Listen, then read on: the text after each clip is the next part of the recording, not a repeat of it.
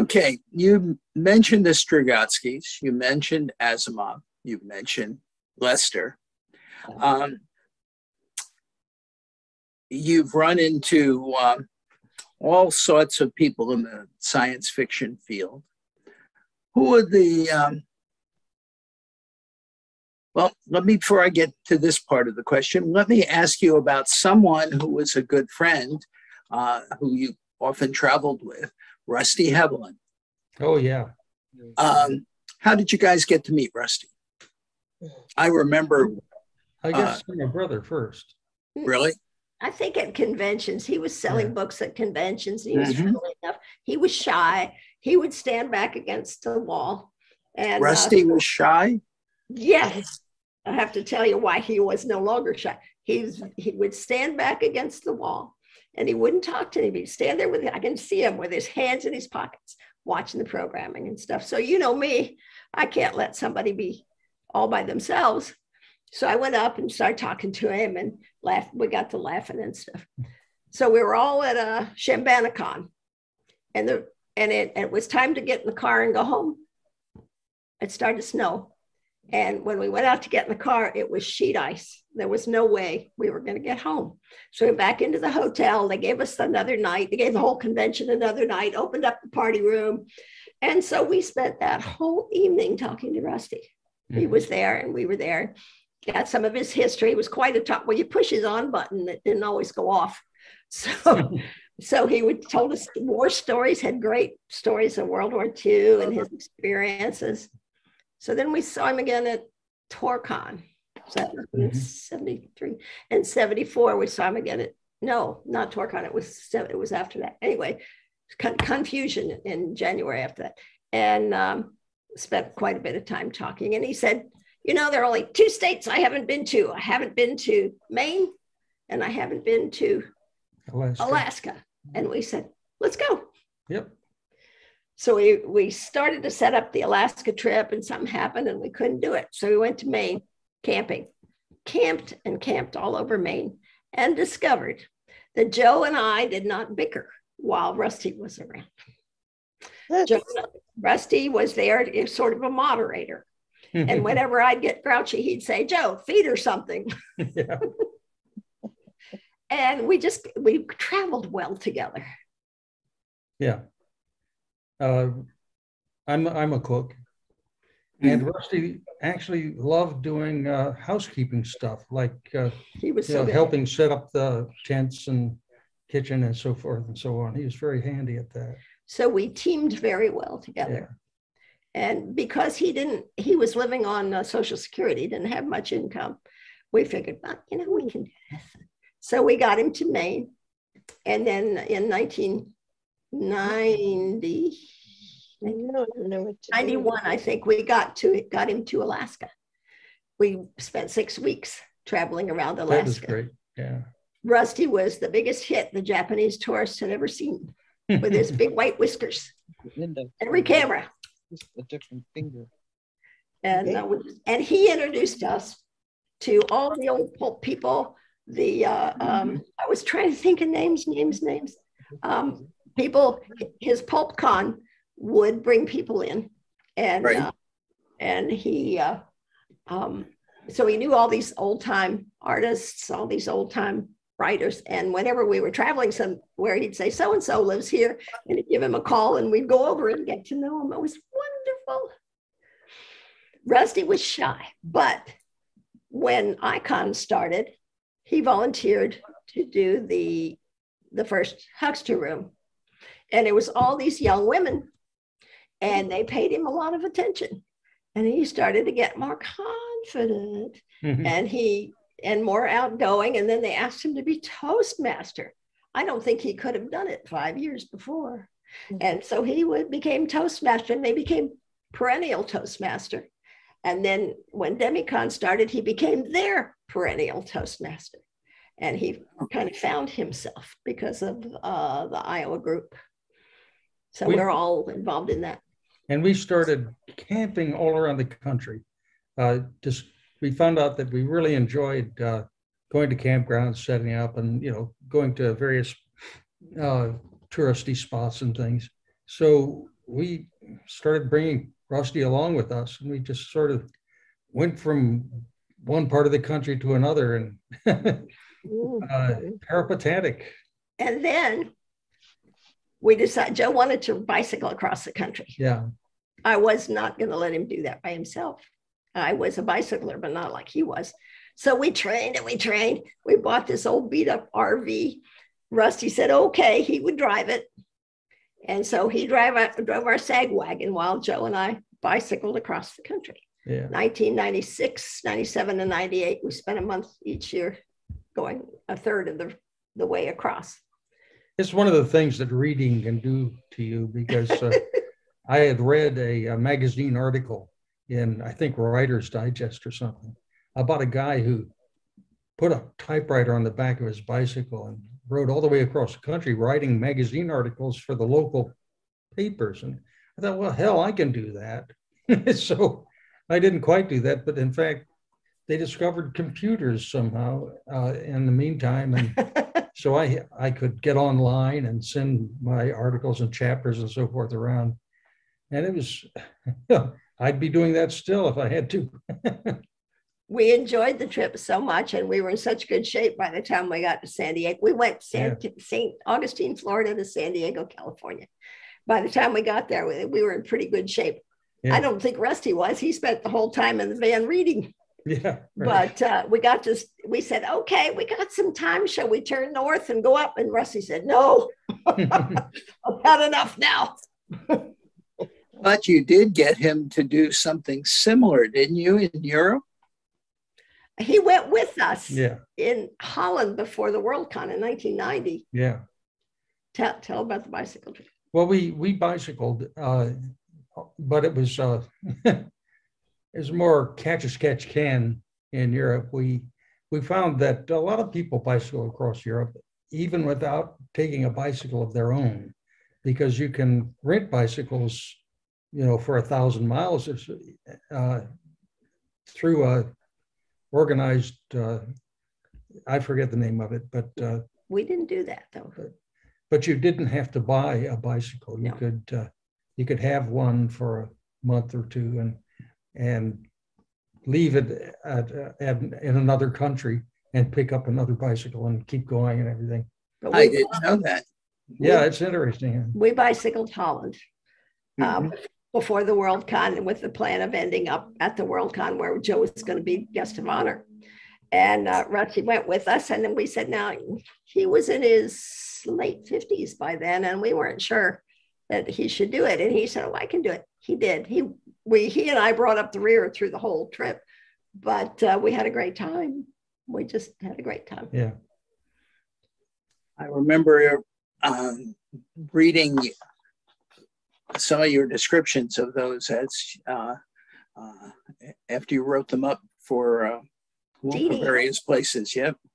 Yeah. He, he uh, posted on Genie all those. That is that where it was? Okay. I knew it was written up, but I couldn't remember where. Yeah. And we don't have it all. If anybody has it, I'd appreciate it. So if anyone has a, a Genie archive, they should let you know about it. Please. Okay.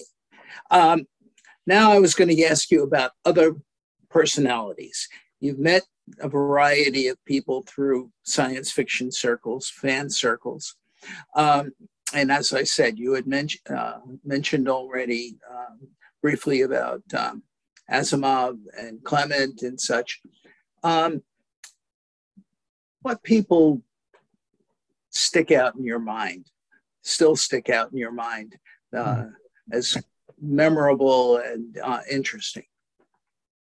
Well, the whole Milford group was fascinating. Milford mm-hmm. science fiction yeah. writing uh, workshop run by Damon Knight and Kate Wilhelm. And we actually kept going. We stayed friends with Damon and Kate for a long time after that. Forever. Yeah. Well, until he died, yeah. Uh, Gardner Dozois introduced us to Damon and Kate. Yeah. Gardner was a strong influence. He was a new writer at the same time Joe was. Yeah. Gardner and I got together about the same time with uh, Jack Dann and my brother Jack Haldeman. And I guess George Zebrowski was off on the side, and uh, uh, Pamela Pamela Sargent. Sargent. And we just sort of hung around. In fact, we, we did a, uh, what did we call it? It was a, uh, What, Guilford Gafia? no, we did a, uh, a, a, the kind of a fanzine where everybody writes, uh, a sort of a diary. then Naked you- came the, Naked came the android. And, and we'd, uh, you'd, you'd get all your pages together and send them to the next person. And Oh, she that would, uh, put hers on top and take the, uh, oldest one off the bottom and keep sending them around. What do they call those? they called it a link, we called Link it a link letter. Link letter. This was Okay. pre- pre-computer. Yeah. It was a sort of a uh, precursor to a blog. I And- believe George Martin was involved. Yeah, George Martin. Yeah, so Who else that was was? fun.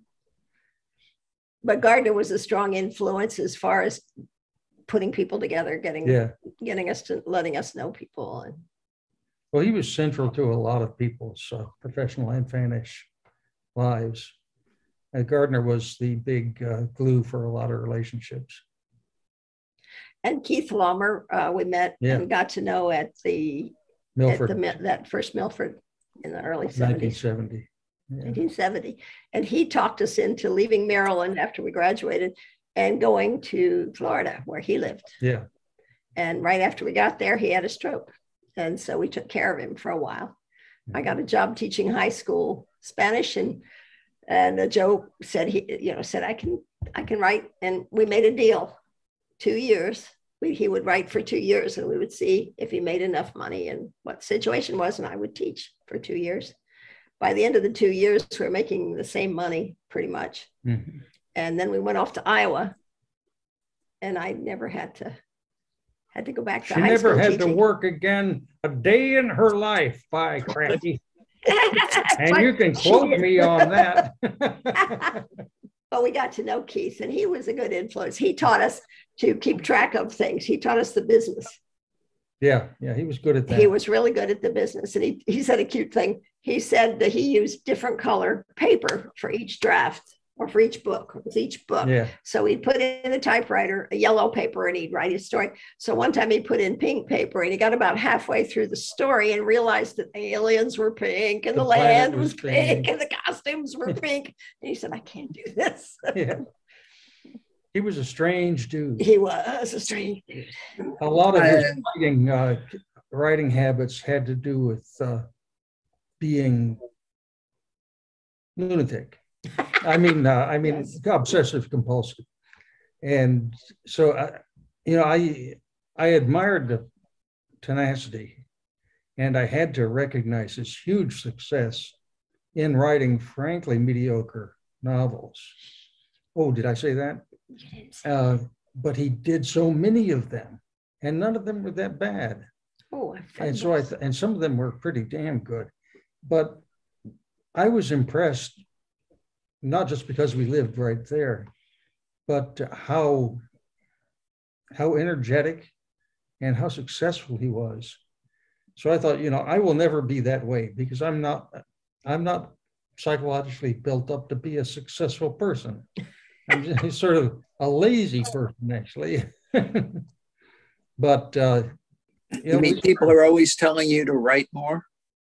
yeah, some people do. Some people tell me to write less. I don't listen to them either. Joe is slow writer. Yeah, I'm slow.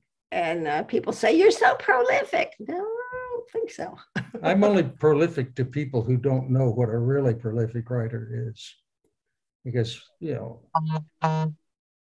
what was that nose? That's That was- somebody's Zoom. It's, Oh. uh, I thought it's that my was a sister. prolific writer trying to get in. yeah. But yeah, I'm not, uh, I'm just normally prolific, which is in my, You're not, yeah, you're not John Creasey or Isaac Asimov. no way, yeah.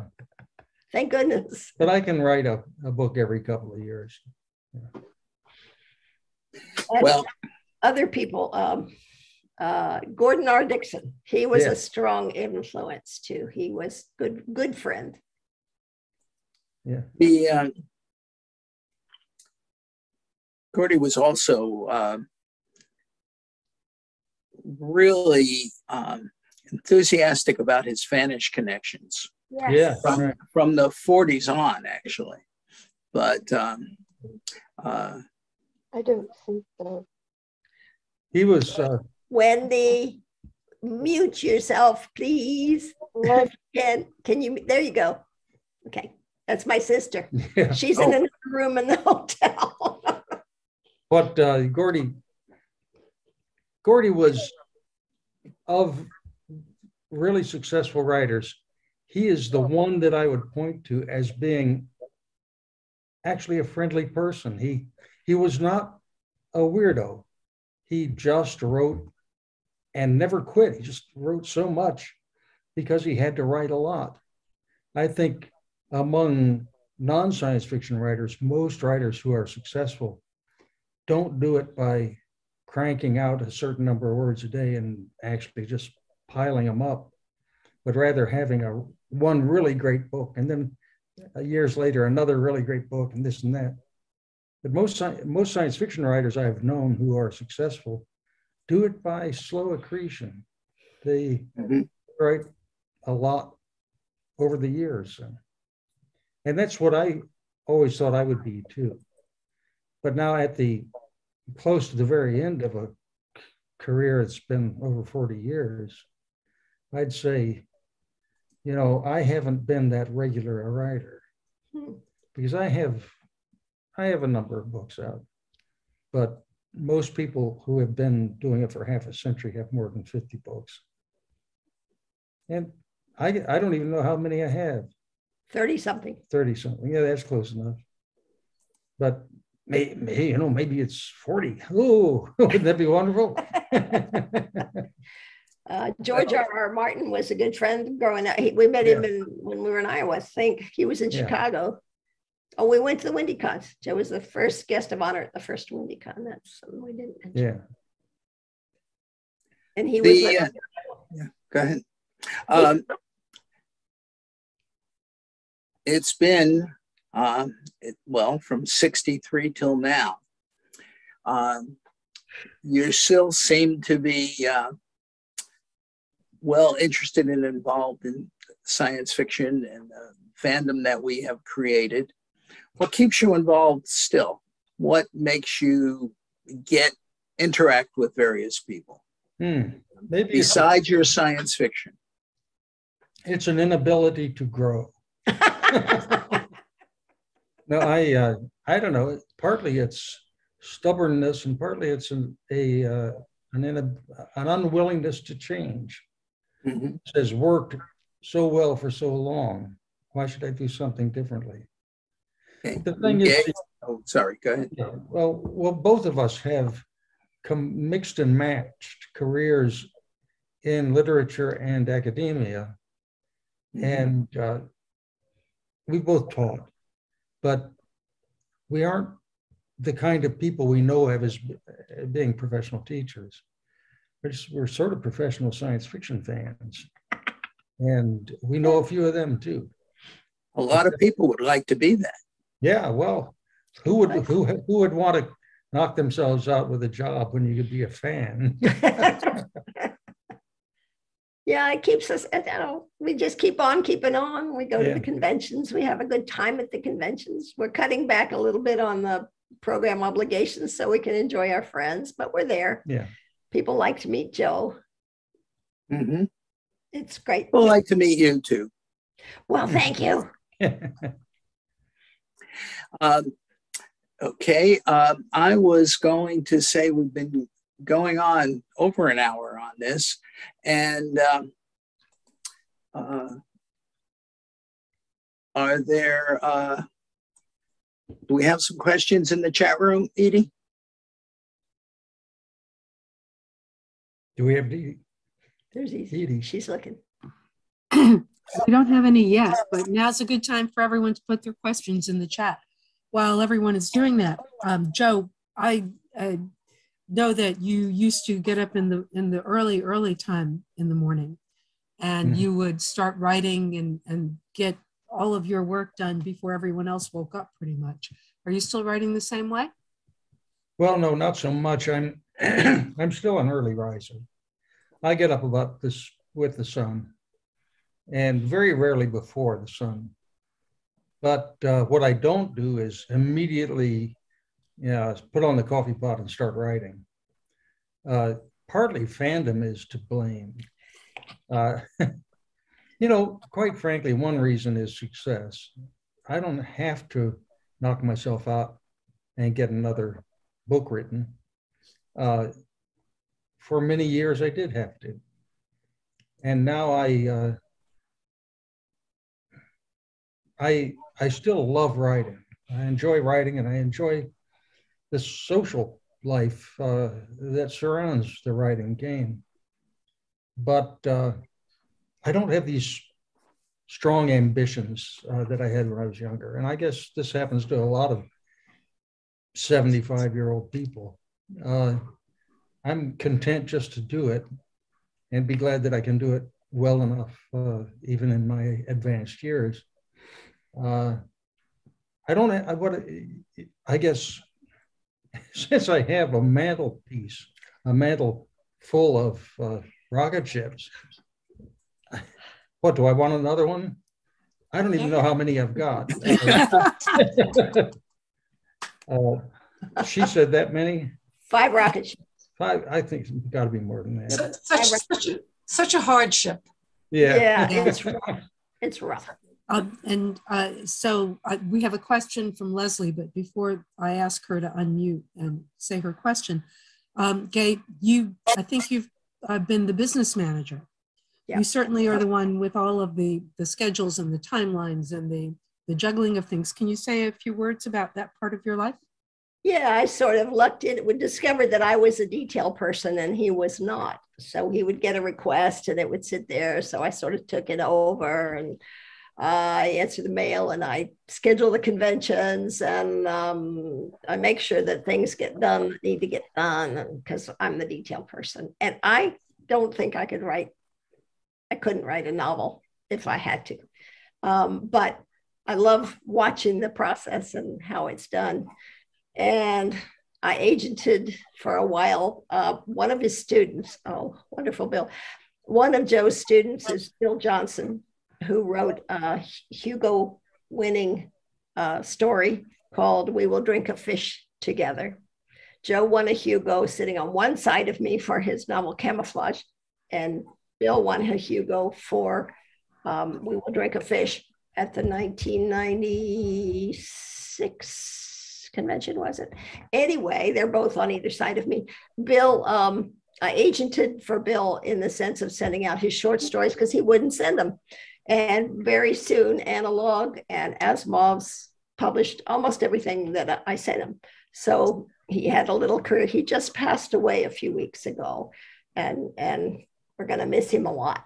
So keep Bill Johnson and his family in your thoughts. He has finished a novel, and uh, we were working on it. And it, I don't know what's going to happen to it, but we're going to try to publish it. I think you were also coaching uh, Judy uh, Castro on how to be the business manager for Adam. Oh yeah, that's been a while since we did that. Yes, we did talk about that. So I have done only, panels on that. yeah, not only do you civilize people, but you also educate them into the to the um, supporting uh, parts of the craft. We try. There's a, a writers need a much bigger support system than they know about, and if they don't have that, it can be hard. So I'm the support system here. Absolutely. Okay, Leslie, if you would, would you please unmute yourself and ask your question? You know, I don't know that I actually met you at TriCon, but I do remember seeing you on the stage of the masquerade. and that was Yeah. my WorldCon. Um, Oh. I- you know, because writers in science fiction are so social with each other, at least they were in my era. I'm wondering if there are newer writers, people who started writing in this current century that you've enjoyed meeting or reading. Oh yeah, N.K. Jemisin is delightful. yeah. Um, names again. Um, wonderful people. Um, yes, lots of them. Yeah, I'm sure. Uh, Hey, I Who's the woman? who. Just uh, I just finished a very good book by. Uh, yeah, that woman. Yeah, her and uh, Uh, oh dear, that's terrible. Yes, we do. I, I read all, Um, almost all the nominees every time, so I can keep up with who's new and everything. Uh, we got to know um, Nora Jemisin at uh, at a the a workshop called Launchpad in Denver, no, uh, Wisconsin, sorry, Wyoming, Wyoming.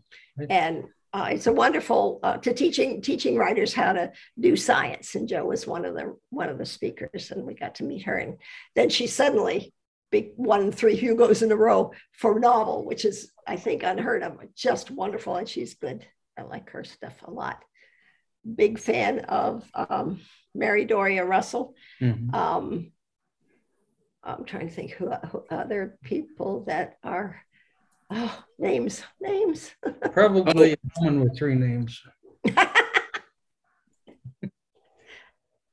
Well, Sorry, that's I'm- what these these things are. We put you on the spot with unexpected things. oh, I Uh, that question. the um, I you said you're still going to be going to um, conventions, so I hope we get to see you uh, at one of them Yeah. sometime soon. Um, and uh, Are you going to Chicon? yes. Yes. Oh, yeah. Oh yeah. I'll see you there. Great. Good. Good. World Fantasy will be at World Fantasy, which is in New Orleans. Yeah. Oh, I yes, look forward to that. Um, And So I will be uh, at Icon in Iowa, Ci- in uh, Cedar Rapids, Iowa. Mhm. Uh, When I'm- we've- when I'm scheduled. we have a question from Rich Lynch, or rather a request. He says, ask Joe to describe his meeting with Heinlein in 1976. Oh, let's see. That one was uh, when I won had the had the Hugo. Yeah, uh, it was the Hugo or the Nebula. I wasn't there when you met Heinlein. I don't remember why. I uh, I think the first time I met Heinlein was actually at a uh, Nebula conference, uh, rather the awards presentation. I think that was it. and he came across the hall to shake my hand for having won for the uh, the Forever War, and I was much blown away by that. You know, he was uh, a very courtly and uh, dignified man. Uh, I didn't know him vanishly at all. I mean, one doesn't, but uh, we got to we got along very well. Oddly enough, our our politics, of course, are diametrically opposed in many things. But when did that ever make any difference in fandom? I mean, I guess sometimes for some people it does, but for me it doesn't. And uh, I I accept that many of the people whom I respect uh, have the weirdest ideas. That's okay. But I didn't think most of Heinlein's ideas were strange at all because he and I are both Midwestern, uh, technological education, uh, white male guys, and we both had military backgrounds, which is not common in science fiction. So yeah, we belong to a pretty small club anyhow, but if- even if you don't look at our publication records. And then the fact is, we both liked each other's work, which is uh, kind of a strong thing among writers. He, without him, I think we would, Joe wouldn't have even had a career without Heinlein's influence. I- He was so important to us. And we tried to tell him, I tried to tell him and he didn't want to hear it. But I did. I Yeah. just so tried so hard. And I corresponded with Ginny for a while, Yeah. um, business stuff, trying to get our heads together about how things should work. Why do you think Heinlein didn't want to hear that? He he kept shutting us down as we tried to. I mean, he wasn't.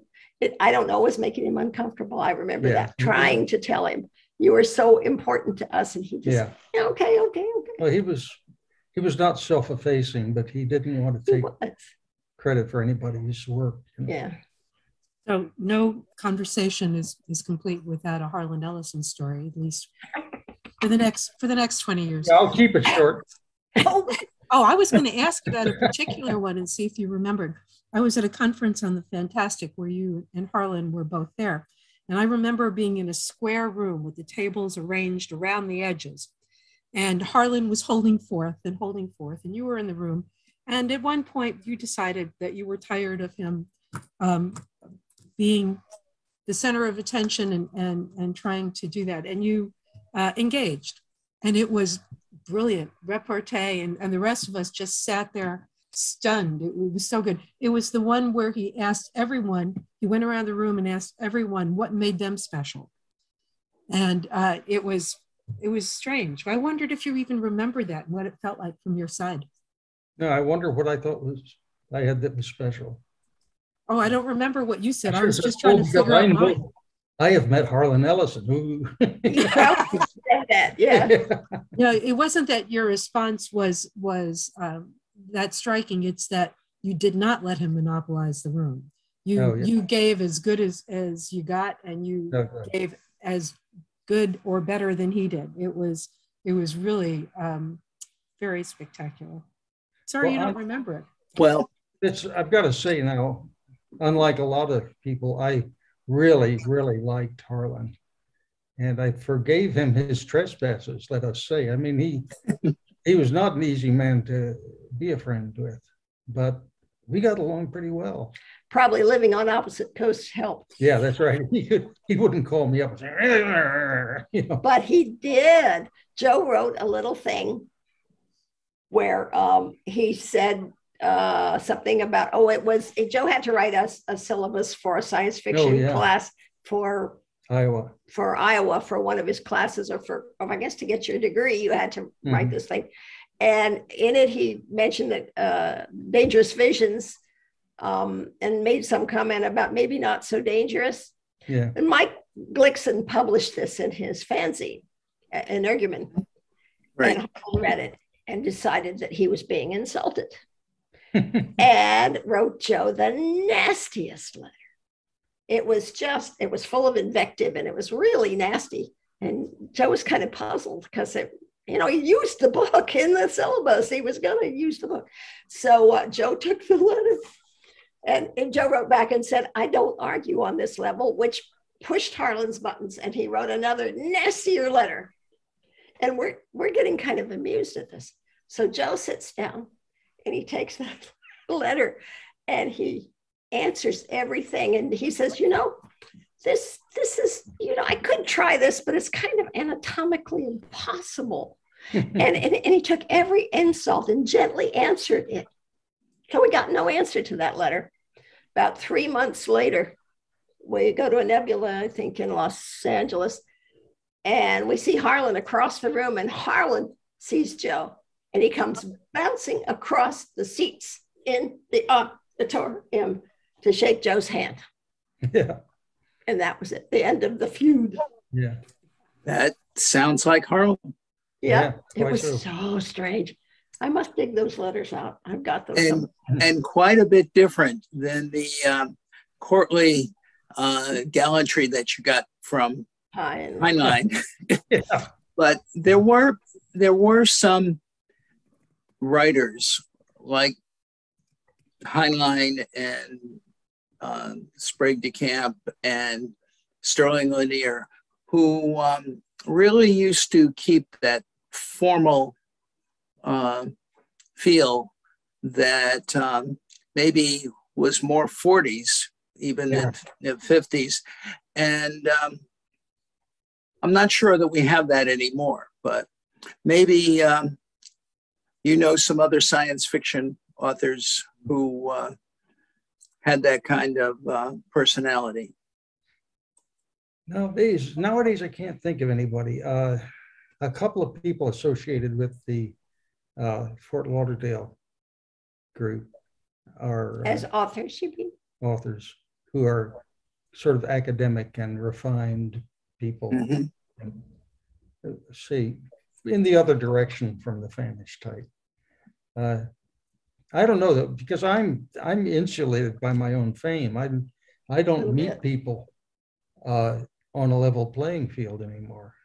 That's true. So yeah, it's just I meet and I meet them, but uh, uh, not uh, in a combative way.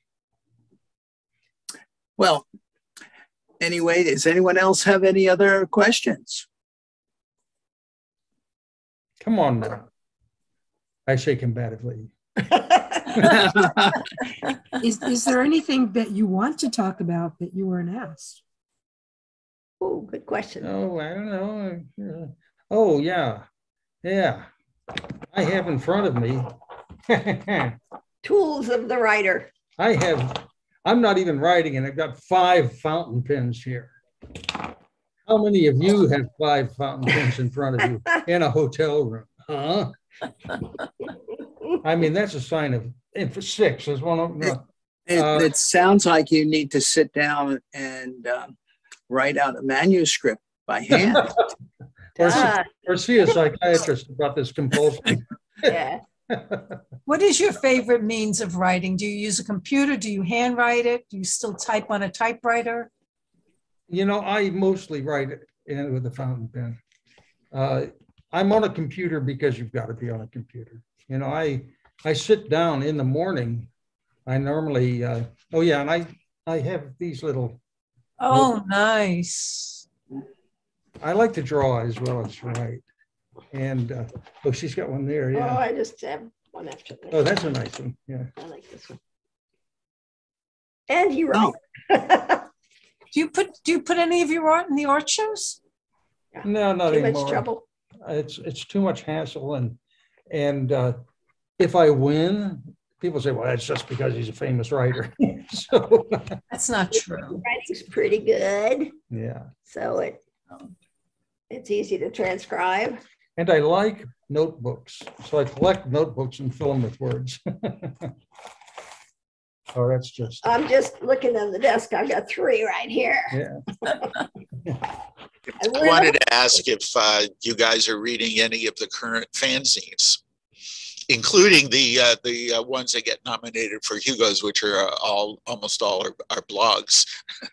That's right. We haven't been good about that. We No, should we be should. better about that. Every now and then, if somebody sends me one, I'll read it. Uh, And enjoy it. Yeah, and very much enjoy it.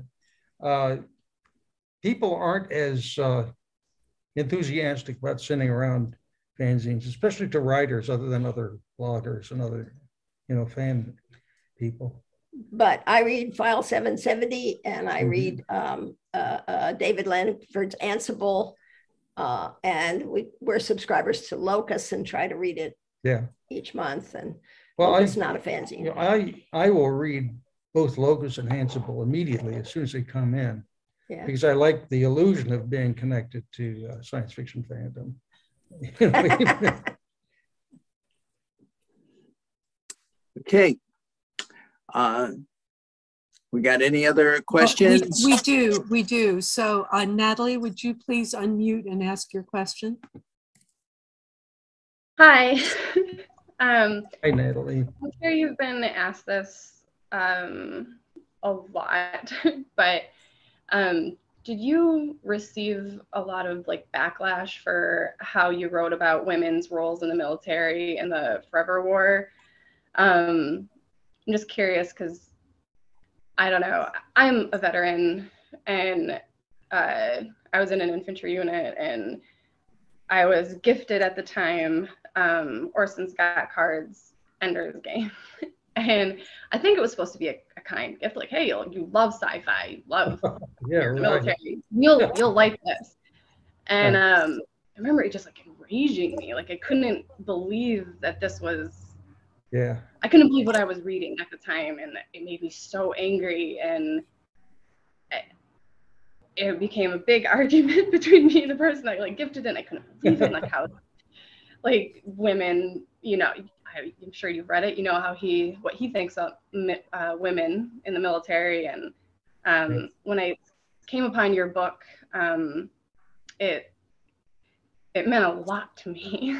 um, Good. Ah, I'm glad to hear that. I just loved it. I just loved it so much, and it meant so much to hear an author and a veteran, um, you know, accepting women's place in the military and what they Thank you. are capable of. And I just was curious if you had any thoughts about that, um, uh, writing, or if, if yeah, I don't know, if you received backlash. I don't, I get front lash.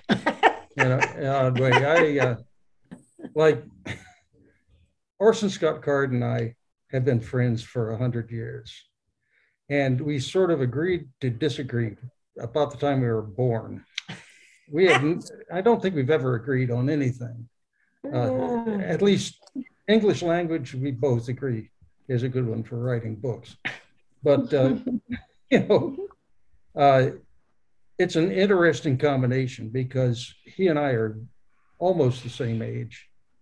And uh, we've both been writing about the same length of time. We both are, I wouldn't say, I guess he's more successful than I am, but we're about the same part of the universe.